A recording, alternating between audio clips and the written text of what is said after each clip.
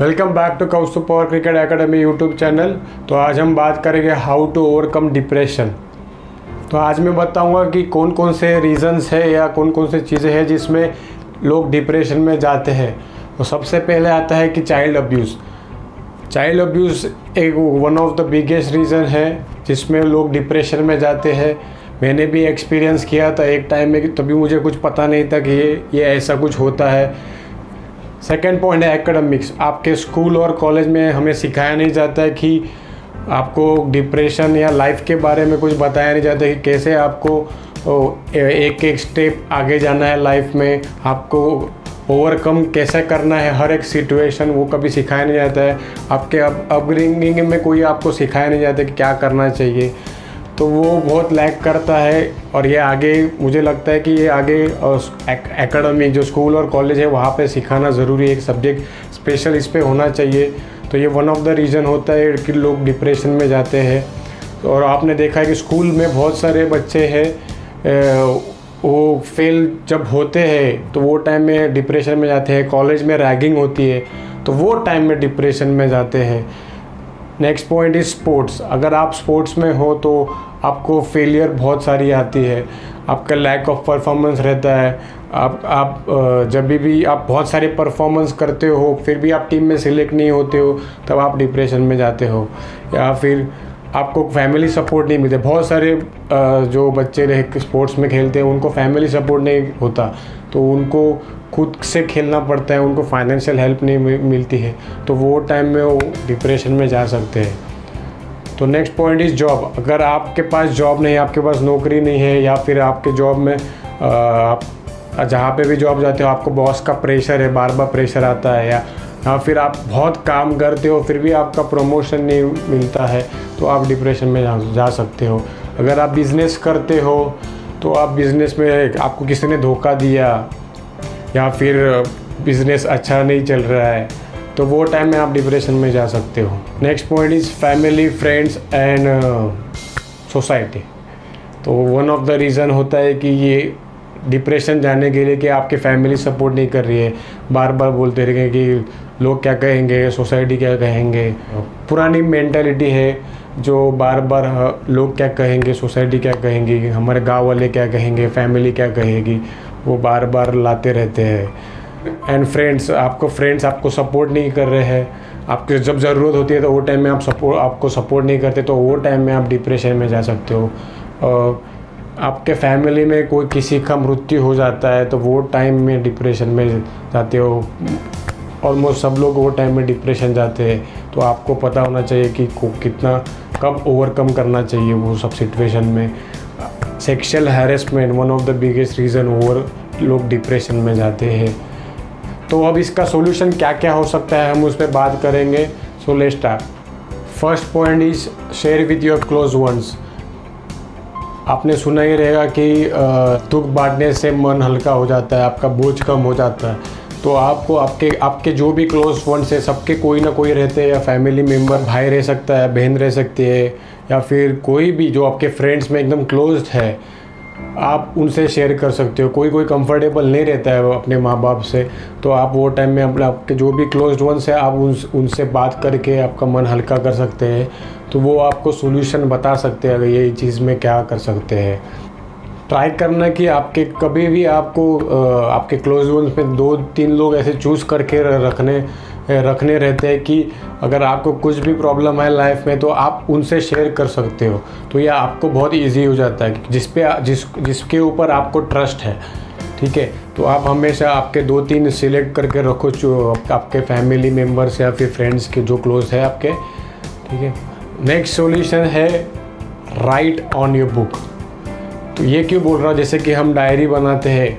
अगर आपके मन में जो भी है नेगेटिविटी जो भी है, जैसे कि फ्रस्ट्रेशन हो या आप सैड हो या डिप्रेशन हो, आपके किसी के साथ कुछ झगड़ा हो गया या किसी ने आपको कुछ भी कुछ भी जैसे डिप्रेशन जो होते पॉइंट्स होते, वो मैंने कहा था। जो भी नेगेटिव चीज़ है, आप बुक में लिखो। एक बार आप पूरे लिख लिख लोगे तो आपको पता चलेगा, आपके दिमाग से जो भी बोझ था वो हल्का हो जाता है। ये मैंने भी ट्राई किया है, ये आप भी ट्राई करके देखो, ये बहुत इंपॉर्टेंट चीज़ है। Third point is conversation talk to each other अगर आपका किसी के साथ भी झगड़ा हो जाता है या मिसअंडरस्टैंडिंग हो जाती है, कुछ भी बहुत सारे ऐसे प्रॉब्लम हो जाते हैं कि मेन प्रॉब्लम होता है मिसअंडरस्टैंडिंग तो आपको वही टाइम में सॉल्व करना है। ना ही ईगो लेके बैठना है कि वो आके मुझे सॉरी बोलेगा या कोई मैं उस, मैं उसके पास नहीं जाऊँगा, वो आके मुझे सॉरी कहे। ऐसा नहीं होता है। ये जब भी भी झगड़ा होता है ट्राई करो वही टाइम सॉल्व करने। तो उससे क्या होता है कि आपका मिसअंडरस्टैंडिंग दूर हो जाता है और आपके रिलेशनशिप में प्रॉब्लम प्रॉब्लम होने के चांसेस बहुत कम हो जाते हैं और सॉल्व हो जाते हैं। Next solution is meditation and pranayama तो इससे क्या होता है कि आपकी बॉडी काम हो जाती है। और ये अगर ये आप पहले से ही करते हो तो आपका जो डिप्रेशन में जाने का चांसेस बहुत कम रहता है। अगर आप डिप्रेशन में जाते हो तो ये आप करोगे तो आपको थोड़ा हेल्प मिलेगा और ये आपको लाइफ में लाइफ टाइम हेल्प करेगा। तो मेडिटेशन आपको करना है तो एक शांत जगह में बैठ के म्यूज़िक कोई भी इंस्ट्रूमेंटल म्यूज़िक लगा के आ, सुन सकते हो। या प्राणायाम, जो ब्रीदिंग एक्सरसाइजेस होते हैं, आप किसी से सीख के वो कर सकते हो। तो जिससे क्या होगा, आपके थॉट्स प्रोसेस जब आप प्राणायाम करते हो तो आपके थॉट्स जो बार बार आपको तकलीफ़ देते हैं, वो कम हो जाते हैं तो ये आपको उसमें हेल्प करेगा। Next solution is have a break अगर आपने देखा है स्पोर्ट्समैन या फिर जो भी स्पेशली ये स्पोर्ट्समैन जो बिज़नेस में बार बार जो काम करते हैं मेंटली थक जाते हैं, है, उनके लिए है कि आप हॉलीडेज़ के लिए जा सकते हो। अगर आप रिलीजियस पर्सन हो तो कोई टेंपल दूसरे स्टेट के टेम्पल्स या अगर दरगाह चर्च में जा सकते हो। तो अगर आपको कोई डेस्टिनेशन फेवरेट डेस्टिनेशन आप वहाँ जा सकते हो। नई चीज़ें देखने मिलेगी, आप मेंटली रिकवर हो जाते हो। तो ये बहुत इंपॉर्टेंट चीज़ है मेंटली रिकवर होना। Avoid reading and watching negative news आप देखते हो हमेशा सोशल मीडिया या फिर न्यूज़ चैनल में बहुत सारे नेगेटिव चीज़ क्यों आते हैं? वन ऑफ़ द रीज़न से हम कि हम जैसे लोग बार बार वो नेगेटिव चीज़ें दे, देखते हैं और उनको टीआरपी ज़्यादा मिलती है हमें वही चीज़ पसंद आ जाती है तो वो लोग वही दिखाएँगे। अगर हम ये चीज़ें नहीं देखें तो वो दिखाने बंद हो जाएँगे क्योंकि एक लॉ ऑफ़ अट्रैक्शन है। जैसे आपको जो जो चीज़ चाहिए रहती है, आप बार बार जो देखोगे, वो आपको मिलते जाएगा। अगर आप नेगेटिव चीज़ें देखोगे तो आपको नेगेटिव चीज़ें मिलेंगी। तो इसलिए कभी भी ट्राई करना कि पॉजिटिव चीज़ें देखें, जो भी है पॉजिटिव आपके लाइफ में, आपके करियर में, अगर आपको बिजनेसमैन अच्छा बिजनेसमैन बनना है तो ट्राई करो जो आपके घर में बड़े बड़े बिजनेसमैन जो भी है, उनके फ़ोटोज़ रखो। जैसे अम्बानी टाटा बिरला है अगर आप स्पोर्ट्समैन आपका जो फेवरेट रोल रोल मॉडल होता है तो आप उनके फ़ोटोज़ या बी सी आपको इंडिया खेलना है तो आप बीसीसीआई का लोगो लगा सकते हो। अगर मुंबई, जैसे स्टेट अलग अलग स्टेट के प्लेस है। जैसे मैं मुंबई का प्लेयर हूँ तो मैंने मुंबई का लोगो लगाया था। आपको लॉ ऑफ़ अट्रैक्शन रहता है। अगर आप देख, देखोगे कि मुझे ये चीज़ करना है तो आपका माइंड सेट आपका गोल पे ध्यान रहता है। अगर आप नेगेटिव चीज़ें देखोगे, आपका माइंड उधर जाता है। जैसे मैं बचपन में बहुत डब्ल्यू डब्ल्यू ई देखता था तो वो टाइम मेरे दिमाग में सिर्फ़ सबको पकड़ के मारना ही था। तो वो टाइम में बहुत फाइटिंग करता था, बाद में फिर जैसे बंद किया, वो धीरे धीरे चेंज होते थे वैसे ही रहता कि आजकल बहुत रिलीजियस फाइटिंग होते हिंदू, मुस्लिम। तो one of the biggest reason news channel है, वो लोग थोड़े थोड़े चीज़ को भी बड़ा करके दिखाते हैं और उसमें सब लोग जो रिलीजियस बहुत रिलीजियस होते हैं, वो एक दूसरे के ऊपर झगड़ते हैं। तो आपको वही करना है कि वो सब अवॉइड करना है, जैसे हम आप आपका जो कोई भी दोस्त है, हिंदू, मुस्लिम, उनमें कभी झगड़ा नहीं होता। तो इसके वो, ये जो भी नेगेटिव चीज़ें दिखाते हैं, उसकी वजह से झगड़ा हो सकता है।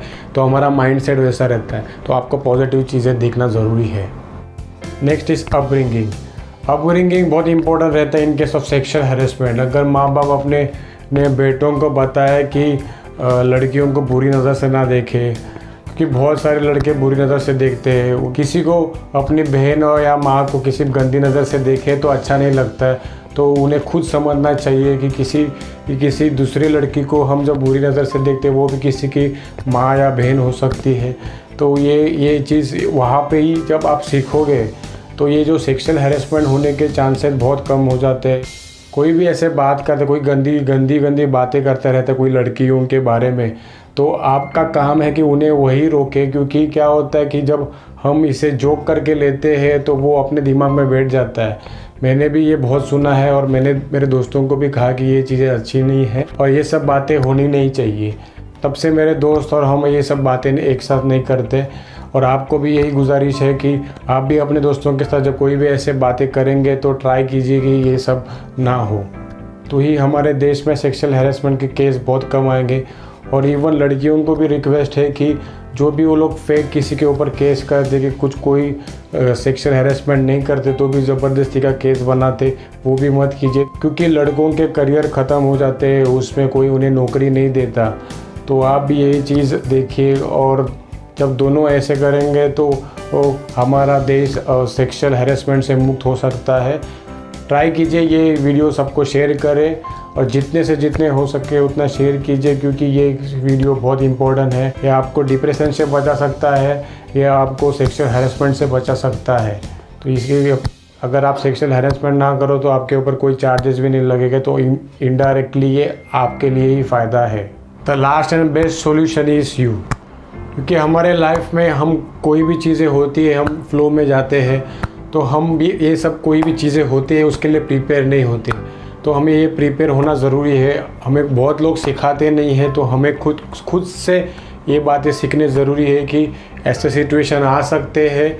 और ये one of the major reason है कि ये चीज़ मैं भी बहुत बहुत सारे चीज़ों से गया हूँ एक्सपीरियंस कर चुका हूँ। इसलिए मुझे लगता है कि ये मेंटली बहुत टॉर्चर करता है, बहुत डिप्रेशन बहुत ख़राब चीज़ है।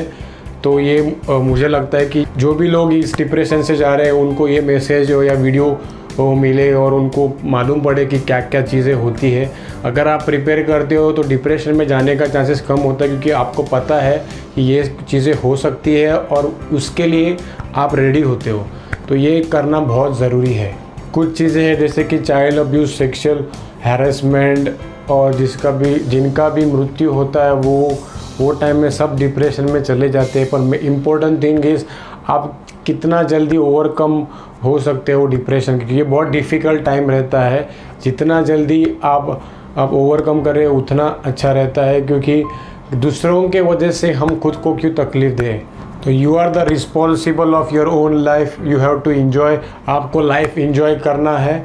और अगर आप इन्जॉय नहीं करोगे तो आप डिप्रेशन में जा सकते हो। तो please enjoy your life and stay away from you negativity जाते जाते एक शेयर अर्ज़ करता हूँ।